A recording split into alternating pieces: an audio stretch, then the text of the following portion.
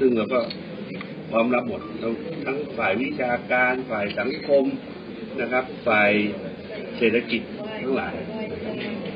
เขาก็ท้าทามไม่มีนะเจอกันในสภาก็คงปิ๊งๆกันนะครับ แล้วก็ผม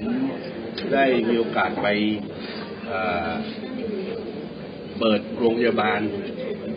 สวรรค์ประชารักษ์ที่จังหวัดนครสวรรค์ของท่านเมื่อสองสามเดือนก่อน ท่านก็เป็น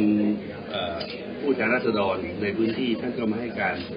ดูแลต้อนรับขับสู้ผมอย่างเต็มที่ แล้วก็ได้พาไปแนะนำให้กับรู้จักกับคนนครสวรรค์เยอะมาก ตอนที่ผมไปพบกับพี่น้องอสมท่านวิเวกรก็ติดตามคณะไปด้วย ผมเห็นท่านวิเวกรทำงานให้กับประชาชน ท่านก็คงเห็นว่าผมก็ทำงานให้กับประชาชนนะครับ ก็ มันก็มีความสัมพันธ์ที่ดีต่อกัน ถ้าทุกคนวิพากษ์วิจารณ์ในเชิงบวก ในเชิงสร้างสรรค์ ก็เป็นสิ่งที่ทุกคนก็สามารถรับฟังได้ ผมว่าเรื่องนี้มันเป็นเรื่องปกติทางการเมืองนะครับการที่สมาชิกสภาผู้แทนราษฎรเนี่ยย้ายสังกัดพรรคในช่วงที่มีการเลือกตั้ง มันก็เกิดขึ้นอยู่ตลอดเวลานะครับ ผมก็เคยย้ายนะครับมันอยู่ที่ว่าใน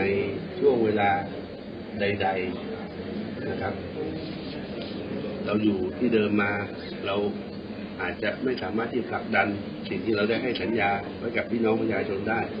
นะครับ แล้วเราก็มาดูว่าที่ที่สังกัดใหม่ อาจจะมีนโยบายที่ตรงใจประชาชน ตรงใจกับเราเราสามารถนำไปปฏิบัติให้กับประชาชนได้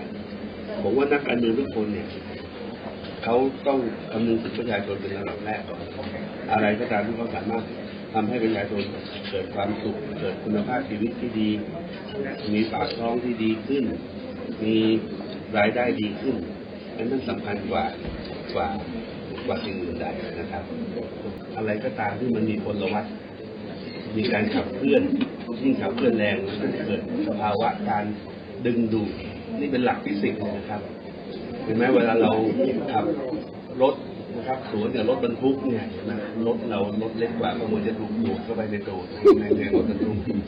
นะฮะอันนี้มันเป็นการดึงดูดโดยพลวัตโดยการขับเคลื่อนของพรรคภูมิใจไทยซึ่งก็น่าจะเป็นสิ่งที่ดีนะครับเพราะพรรคภูมิใจไทยจะขับเคลื่อนนโยบายทุกอย่าง แม้กระทั่งช่วงนี้เป็นช่วงสุดท้ายของ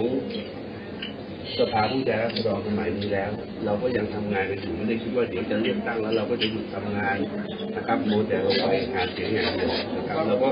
แบ่งเวลาทุกอย่างในพลวัตเหล่านี้มันก็ทำให้เกิดเป็นแรง